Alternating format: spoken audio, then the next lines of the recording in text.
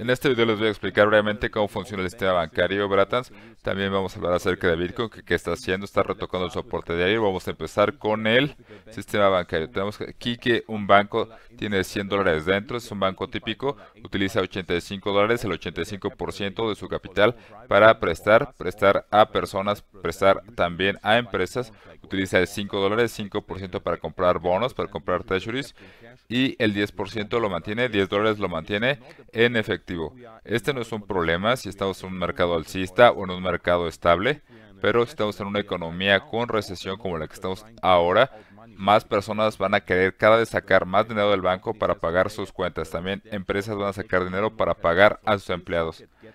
Tenemos que este monto del 10% de los 10 dólares empieza a reducir porque empiezan a sacar dinero. ¿Y qué pasa después? Obviamente no pueden tomar el dinero de los préstamos porque querían en iliquidez, quebrarían pero empezarían a vender los bonos. Empiezan a vender bonos para devolverle el dinero a las personas que están sacando el dinero. ¿Qué pasa después? Los bancos hacen dinero prestando dinero, entonces tratan de cobrar un interés por los bonos que están obteniendo. Pero ¿qué pasó? Vemos que en este momento el precio de los bonos está cayendo. El, el precio de los bonos está cayendo hasta 130 dólares, está cayendo como una basura, como una shitcoin. Y pensamos que compraron aquí en 165 antes de la crisis económica. Entonces, si venden en este momento, van a vender a una pérdida del 20-30%, que es lo que han caído los bonos. Compraron y tenían 5 dólares ahí y ahora van a perder como el 20%. Se van a quedar con 4 dólares con 80 centavos. Entonces, no tienen suficiente dinero para devolverle a las personas. ¿Y qué va a pasar? El banco va a quebrar, como Silicon Valley Bank y como First Republic, que también quebró.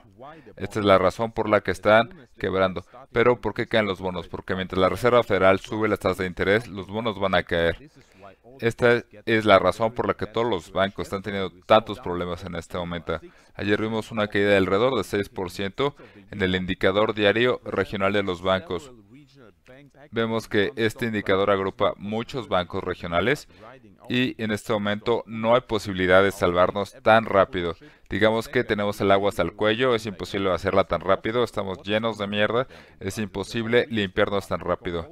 Y también tenemos el mercado de las hipotecas y de los bienes raíces. Está relacionado directamente con el mercado bancario porque los bancos le prestan a las hipotecas a, los, a las personas que quieren sacar hipotecas y si los bancos quiebran, va a quebrar también el sistema hipotecario y de bienes raíces. La única forma de salvar esto es que la Reserva Federal empiece a imprimir dinero para resolver todo. Primer dinero y vamos a ver en ese caso a Bitcoin y Ethereum subir muchísimo. Vamos a ver a Bitcoin subir a 100, 200 mil, hasta 300 mil. Pero en un año vamos a tener una tragedia peor que la de Shakespeare. Tendremos una hiperinflación terrible tenemos que la inflación está en 5% y si empieza en el primer de enero se va a disparar la hiperinflación. No pueden controlar la inflación en este momento. Y si llegan el primer de enero vamos a caer en hiperinflación. Recuerden que también vimos en otro video la relación P, Price to Earnings, que es ganancia para precio para ganancias, perdón, entonces observamos que está muy caro el SP500. Tiene que enfriarse todavía, tiene que caer al menos un 20%. Si el SP500 cae un 20% al menos, yo espero que Bitcoin caiga hasta un 70%, que, que caiga hasta 8.800 dólares. Yo estaría feliz si cae todavía más Bitcoin, pero porque podría comprar muchísimo. Pero miren qué pasó la última vez. Mercado alcista, luego caída, luego subida y luego Mercado alcista es, recuerden, es mercado alcista, caída, rally de alivio y luego caída. Podríamos caer hasta los 20.000 de nuevo. O si nos golpea muy duro la recesión, podremos caer hasta 8.000, 8.500 para después realmente subir después del halving. Podríamos caer hasta los 8.000 8500 sería muy bueno para la economía porque la burbuja de verdad se tronaría y empezaríamos a subir después de una manera más orgánicamente. Pero si solamente quedamos hasta los 20 y empezamos a rebotar desde ahí, vamos a tener obviamente un mercado alcista en 2024, pero no ser un mercado tan explosivo y tan rápido como el que me gustaría si es que caemos a los 8000. Esta es la imagen verdaderamente grande que hay que ver y hay que entender. ¿Qué pasa aquí para nuestros day traders? ¿Qué tenemos aquí? Hoy es un día muy importante porque hoy vamos a tener luna llena de nuevo. Sí, luna llena. Miren aquí, cada vez que tenemos luna llena en este punto, tenemos una subida con 70-80% de probabilidades. Vemos subidas y que tenemos aquí con probabilidades de 70-80% vamos a tener una subida el 5 o unos días después. Vemos la última luna llena, unos días después vamos a empezar a ver la subida. ¿Qué podríamos ver aquí todavía? Podríamos ver una caída rápida hasta el soporte diario o semanal y luego tener una subida rápido. Podríamos crear hasta los 25.000 después de esta luna llena. Podríamos tener también hay que observar que la subida respecto a este punto, la subida sería como de 19-20% respecto a donde estamos. Eso en oportunidad de posiciones largas. Sin embargo, eh, si tienen una posición larga, tengan cuidado con su stop loss, pónganlo debajo del soporte semanal, debajo de los 23.500, ¿bratas? Que tenemos aquí también.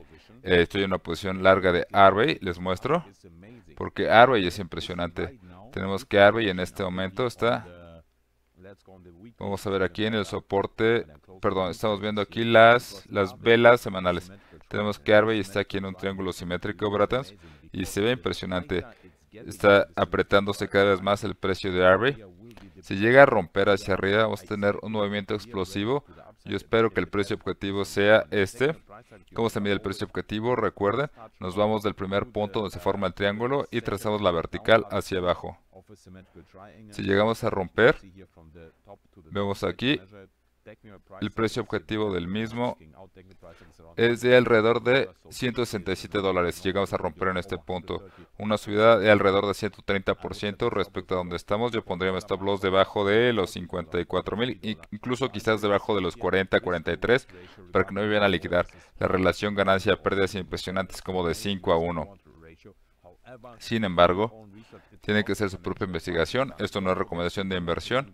Y si quieren poner una posición larga en Bitcoin, en la liga tenemos una un regalo de hasta 100 dólares en posición larga si utilizan la liga de afiliación de Bybit. Es una situación ganar-ganar para ustedes, para mí. Chequen ahí, la liga de afiliación está ahí. Y van a tener acceso gratuito también al grupo de Discord y al Telegram. Completamente gratuito. Vamos a ver también los datos de desempleo. Si los datos de desempleo salen más altos de lo esperado, vamos a ver una subida.